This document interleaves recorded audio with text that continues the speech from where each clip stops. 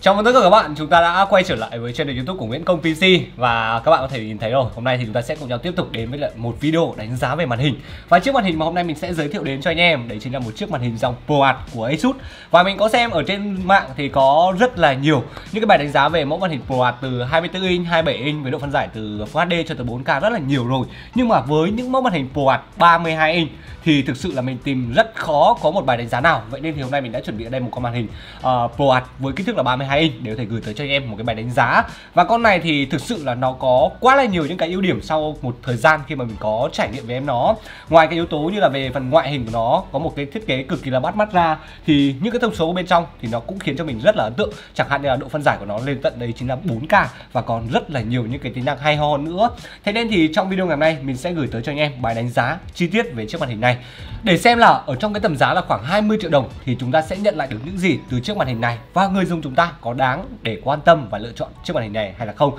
thì mình xin được mời anh em chúng ta theo dõi ở ngay sau đoạn intro này nhé.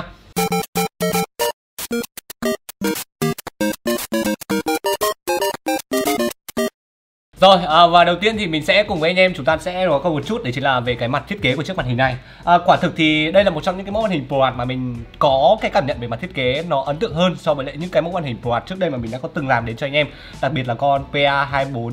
và PA27. Ờ, thì nó có một cái ngoại hình thiết kế theo như cá nhân mình là không được bắt mắt cho lắm bởi vì nó còn vài một cái chi tiết. Nó chưa được sang trọng, nó chưa được đẹp và nó còn thô nữa bởi vì dù sao thì với những mẫu màn hình ProArt thì chúng ta sẽ hướng tới những cái công việc liên quan tới thiết kế và chỉnh sửa video đặc biệt là với những ai chúng ta làm công việc liên quan tới tính sáng tạo. Thì cái điều đó nó thực sự là một trong những cái rào cản rất là lớn để khiến cho người dùng chúng ta quyết định là bỏ tiền ra để có thể mua em nó. Và các bạn có thể thấy đấy chính là một trong những nhà sản xuất cực kỳ thành công trong cái việc là bán màn hình dành cho dân thiết kế đấy chính là Dell thì họ có một cái thiết kế thì gần như là không có điều gì đáng chê trách ở trên sản phẩm của mình nữa rồi. Còn đối với chiếc màn hình ờ, ProArt PA 329CV thì mình đang có đây thì các bạn có thể nhìn qua đấy chính là về cái phần uh, thiết kế tổng thể của nó thì nó đã làm một cách nó thanh mảnh nó đẹp hơn rất là nhiều rồi. Có thể kể đến những cái vị trí chẳng hạn như là về phần chân đế này hay là về các phần cạnh viền trái phải hay là trên thì nó cũng được làm tương đối là mỏng. Và đặc biệt là về phần cạnh dưới mặc dù là nó vẫn được làm dày hơn nhưng mà nhìn vào thì nó cũng trông trở nên đẹp mắt hơn rất là nhiều so với lại những cái phiên bản trước đây rồi.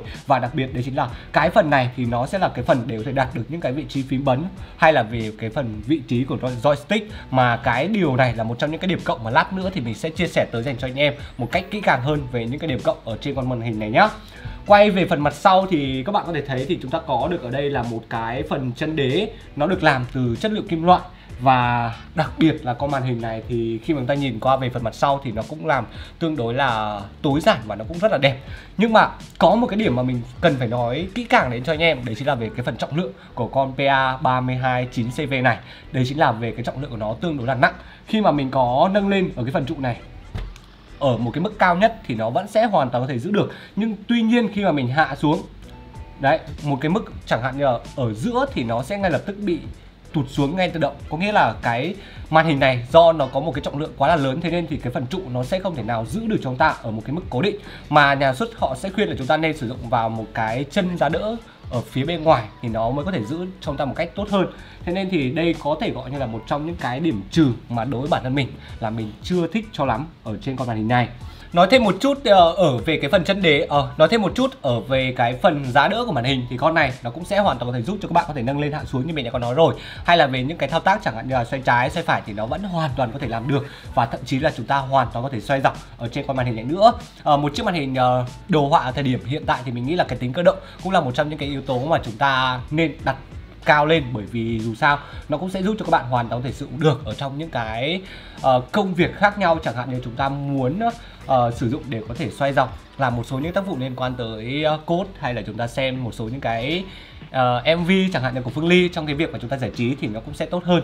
so với lại những mẫu màn hình mà nó không làm được cái điều như thế này. Đi sâu hơn về những cái phần cổng kết nối ở trên chiếc màn hình này thì các bạn hoàn toàn có thể yên tâm bởi vì nó được trang bị ở đây rất là nhiều những cái cổng kết nối từ USB-A, USB Type-C rồi uh, Ờ, uh, HDMI, DisplayPort vân vân và vân vân. Nó hoàn toàn có thể support một cách rất là tốt. Đặc biệt có một cái cổng kết nối mà mình cực kỳ là thích ở trên chiếc màn hình này. Đây chính là việc mà nó được trang bị cổng USB Type-C cái cổng này ngoài việc mà nó hoàn toàn có thể kết nối được với những cái thiết bị chẳng hạn như là laptop của chúng ta để có thể xuất hình ở trên đây thì nó còn hỗ trợ cho chúng ta cái khả năng sạc với công suất lên tới tận đấy chính là 90W nữa. Thế nên thì việc mà anh em chúng ta sử dụng uh, những mẫu laptop chẳng hạn như Ultrabook cái thời lượng mà chúng ta sử dụng với những cái tác vụ liên quan tới hiệu năng cao nó khiến cho thời lượng pin của chúng ta nó bị giảm giảm sút đi thì các bạn cũng không cần phải quá lo lắng bởi vì nó sẽ hoàn toàn có thể giúp cho các bạn có thể vừa kết nối vừa sạc được và vừa có thể sử dụng một cách cực kỳ là ngon lành. Đây là một trong những cái điểm cộng mà mình thấy là nên có ở trên những mẫu màn hình khi mà chúng ta kết nối với lại những chiếc laptop khác. Rồi nói về những cái phần vị trí phím bấm ở trên chiếc màn hình này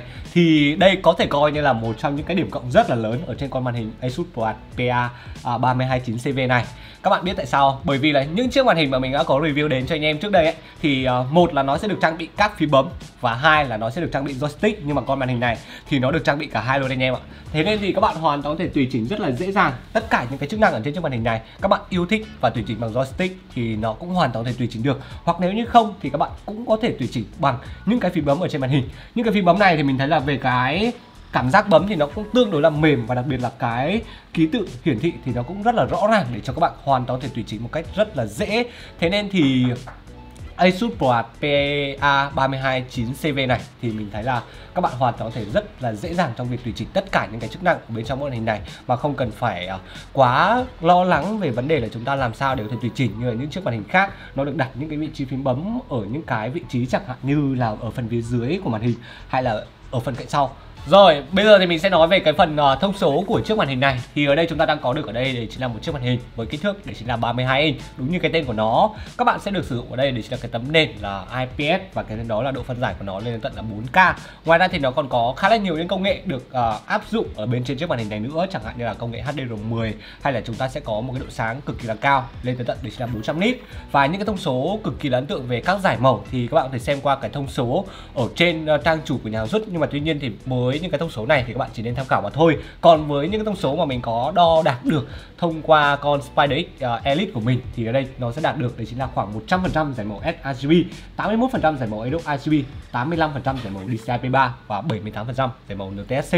và nhìn chung thì mình chấm điểm qua bằng cái ờ, display analytics ở trong con SpiderX Elite ở trên chiếc màn hình này thì mình đánh giá là nó đem đến trong tay những cái thông số phải gọi như là cực kỳ là ấn tượng với các giải màu nó tái tạo lại cực kỳ là tốt. À, và đặc biệt là khi mà trải nghiệm thực tế ở trên chiếc màn hình này nó đem đến cho mình khá là nhiều những cái trải nghiệm cực kỳ là hay ho và khiến cho mình có được những cái cảm tình với chiếc màn hình này. Đầu tiên có thể kể đến đây chính là về cái việc mà nó được sử dụng một cái độ phân giải lên tận để chính là 4K với những mẫu màn hình 32 inch thì các bạn có thể thấy đây chính là cái việc mà thời điểm hiện tại. Nếu như chẳng may mà những con nào đang sử dụng cái độ phân giải được khoảng Full HD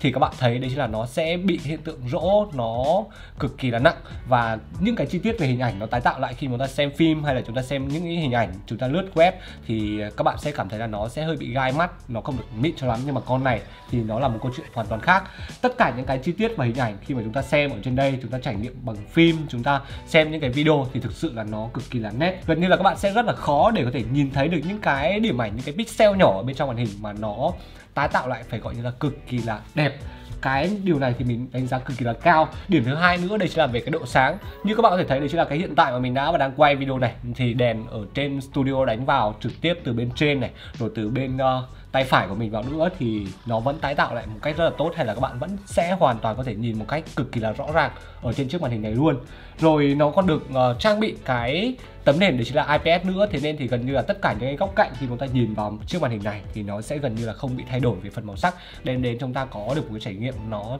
thực sự rất là tốt và đặc biệt là với những ai mà chúng ta làm ở trong những cái môi trường chẳng hạn như là doanh nghiệp hay là công ty ấy, các bạn muốn cho người khác cho sếp của các bạn xem được những cái dự án mà các bạn đang làm về cái độ chính xác màu sắc nó đã đúng hay là chưa thì sếp của các bạn có đứng ở góc cạnh nào đi chăng nữa thì cái màu sắc nó tái tạo lại thì nó vẫn hoàn toàn y chang tương tự như là việc chúng ta nhìn thẳng trực tiếp ở trên con màn hình này luôn. Đến với việc trải nghiệm thực tế ở trên chiếc màn hình này để xem là cái khả năng tái tạo lại cái màu sắc của nó sẽ làm như thế nào. Trong cái việc mà chúng ta trải nghiệm với những cái tác vụ liên quan tới giải trí hàng ngày bằng việc xem phim hay là chúng ta sẽ làm với những công việc liên quan tới chỉnh sửa ảnh, chỉnh sửa video để xem màu sắc của nó như thế nào. Thì đầu tiên mình đang có mở ở đây đấy chính là một cái video về phong cảnh với độ phân giải cũng cực kỳ là cao có đăng tải ở trên một số cái nền tảng mạng xã hội chẳng hạn như là YouTube và độ phân giải của video này. Có thể tùy chỉnh đến tận đấy chính là 8K thì đây các bạn có thể xem qua một vài những thước phim mà họ có quay lại từ những cái thiết bị máy ảnh cực kỳ là chuyên nghiệp. Thì các bạn có thể thấy rằng đấy chính là về những cái chi tiết từ cái phần uh, mặt đất này về phần núi hay là về phần khung cảnh ở bên trên trời. Những cái đám mây thì các bạn có thể thấy đây chính là nó tái tạo lại một cách cực kỳ là rõ. Các bạn gần như là nhìn thấy được những cái sự tách bạch rõ ràng từ những cái vị trí như thế này. Nó không giống như là những chiếc màn hình khác. Các bạn có thể thấy đây chính là cái về cái khả năng tái tạo lại hình ảnh màu sắc nó không được tốt thì gần như là những cái chi tiết này thì nó sẽ không thể nào nhìn thấy rõ và tách bạch được như là ở trên con màn hình Asus Quad PA 329 CV mình đang có ở đây. Hay là về cái phần màu sắc tái tạo lại chẳng hạn như là những cái chi tiết màu xanh như thế này này thì các bạn cũng thấy được là nó tái tạo lại một cách cực kỳ là chi tiết và các bạn biết được là ở đâu những cái chi tiết màu sắc xanh uh, là của lá non lá giả thì nó cũng tái tạo lại một cách cực kỳ là rõ ràng hay là chuyển qua với lại một cái tác vụ khác liên quan tới chỉnh sửa hình ảnh thì ở đây mình cũng đã có thử uh, down đao một cái stock về phong cảnh ở trong Photoshop. À, cái điểm mà, mà về phần màu sắc thì như các bạn có thể xem qua ở cái đoạn thước phim vừa rồi thì các bạn cũng đã thấy là chiếc màn hình này nó làm được tốt đến như thế nào rồi. À, tuy nhiên thì ở trong cái phần chỉnh sửa Photoshop này thì mình sẽ muốn nói đến đấy chính là về cái việc mà chúng ta sử dụng một con màn hình với một cái độ phân giải cao đấy chính là 4K và một cái kích thước cực kỳ là to nữa lên đến tận đấy chính là 32 inch thì nó sẽ đem đến cho chúng ta được những cái lợi thế như thế nào. Thì ở đây như các bạn có thể thấy thì với một người mà mình cũng thường xuyên làm Photoshop thì với bản thân mình là một trong những người cũng thường xuyên chỉnh sửa ảnh bằng Photoshop thì thực sự là khi mà chỉnh sửa Photoshop ấy thì mình sẽ rất là quan tâm tới hai cái mục đấy chính là về cái mục uh, các thanh công cụ ở bên phía cạnh trái của màn hình này và cái phần layer nữa để có thể chỉnh được những cái layer như thế nào trong quá trình khi mà sử dụng. Với một số những cái project mà layer nó quá nhiều thì một con màn hình uh, nó có một cái kích thước và cái không gian hiển thị rộng thì nó cũng sẽ dễ dàng hơn cho mình trong cái việc là mình có thể tùy chỉnh những cái layer uh, nhỏ nhỏ một chút để có thể sử dụng một cách dễ dàng hơn. Hay là về cái phần thanh công cụ cũng như vậy. Về phần thanh công cụ thì với những chiếc màn hình mà nó có độ phân giải là khoảng Full HD hoặc là kích thước của nó quá bị bé thì gần như là cái phần thanh công cụ này các bạn sẽ cần phải mở thêm một cái phần ờ, uh, 3 chấm ở phía dưới nữa thì chúng ta mới có thể mở hết được tất cả những cái thanh công cụ. Tuy nhiên thì với con này thì các bạn có thể thấy đây chính là tất cả những cái công cụ chẳng hạn như là pen tool này hay là về cái phần công cụ liên quan tới clone stamp các thứ thì nó đã được hiển thị ở bên phía góc trái của màn hình. Nó một cách cực kỳ là rõ ràng và đầy đủ. Thậm chí là nó còn thừa một cái khoảng không gian rất là lớn, cái khoảng gần 20 cm bằng một cái bàn tay của mình ở đây nữa mới có thể, để gọi là chiếm trọn được hết cái không gian trong quá trình khi mà mình trải nghiệm trong cái việc là chỉnh sửa Photoshop trên con này. Và một cái điều nữa mà mình cũng cần phải nói đến đấy chính là về không gian hiển thị ngang như thế này này. Thì mình mới có mở một cái hình ảnh ở đây thôi. Thì nó cũng chỉ mất một cái góc bé xíu như thế này mà thôi. Thế nên thì các bạn hoàn toàn có thể tùy chỉnh được rất là nhiều những cái bức ảnh cùng lúc trong quá trình khi chúng ta sử dụng Photoshop hoặc thậm chí là khi chúng ta sử dụng với những cái ứng dụng khác chẳng hạn như là Lightroom thì các bạn vẫn hoàn toàn có thể làm được những cái điều như thế này. Rồi uh, Photoshop nó là như vậy rồi. Thì với ứng dụng Premiere thì sao?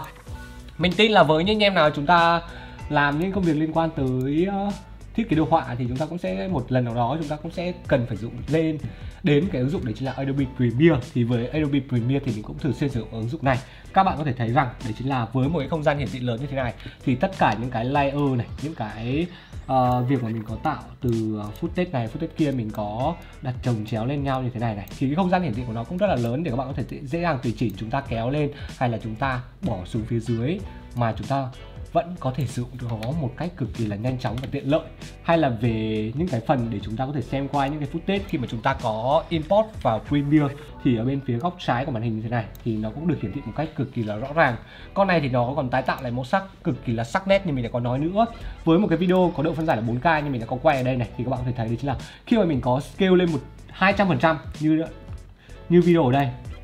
Đây thì mình sẽ kéo xuống cho anh em xem một vài những cái chi tiết. Mình đã có scale lên 200% này. Thì cái chi tiết về con CPU của Intel Core i5 11400 tất cả những cái thông tin về phần chữ thì nó cũng được hiển thị một cách cực kỳ là rõ nét mà những chiếc màn hình với kích thước bé hơn. Uh, như mình thường xuyên sử dụng thì nó sẽ không được làm tốt như thế này. Đấy là về cái việc mà nó sẽ support một cách cực kỳ là tốt trong quá trình khi mà chúng ta làm những công việc ở trên chiếc màn hình này. Ngoài ra nữa thì mình cũng cần phải nói thêm để chính là việc mà chúng ta muốn sử dụng thêm những cái tác vụ liên quan tới giải trí chẳng hạn như là chơi game thì có màn hình này như những cái thông số mà mình đã có vừa chia sẻ thì nó cũng sẽ support một cách rất tốt bởi vì nó có HDR này. Rồi ngoài ra thì nó còn có thêm cái công nghệ đấy chính là AMD FreeSync Premium để giúp cho các bạn có được một cái trải nghiệm tốt hơn. Và với những ai chúng ta sử dụng màn hình này để có thể giải trí thì mình cũng chỉ khuyên anh em là chúng ta nên trải nghiệm những cái tự game liên quan tới AA, những cái tự game đi cảnh để để các bạn có thể thưởng thức một cách trọn vẹn nhất những cái tựa game đó. Bởi vì nó support chúng ta rất là nhiều những cái công nghệ ở bên trong uh, như là HDR để giúp cho các bạn có thể trải nghiệm một cách tốt hơn và tận hưởng được những cái tựa game đó. Khi mà chúng ta chơi game tốt hơn và mình hoàn toàn có thể cam đoan và khẳng định với anh em